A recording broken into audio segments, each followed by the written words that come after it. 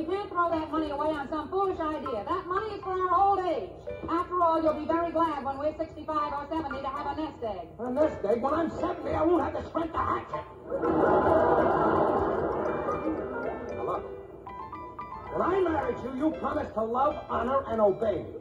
Now, I'm ordering you to give me that money. Ah, shut up.